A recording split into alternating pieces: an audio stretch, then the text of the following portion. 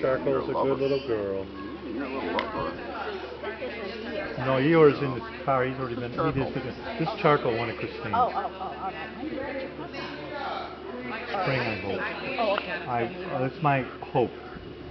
So Thumper. Thumper. I already told Frank. I told Frank, I'm, you know, I want to sign up for the classes, but you know, I talked with uh, Dave and Dawn Parson, and uh, 20 minutes, 30 minutes. I said it's all right if I come and leave early because it can't take it's an a hour. long time for a puppy. Yeah, a long time. And it's really the class is for you.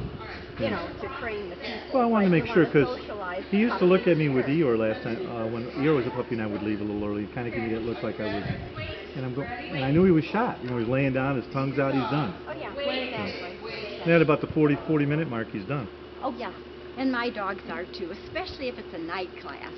You know, thankfully we don't go to any shows at night. because they're all ready for bed, you know, they're, they're you know, into a regular. Are they having fun out there? You're not having any out there, huh? You want to be out there too, right? Charcoal? Finally calming down a little bit. She's wound up like this all the time.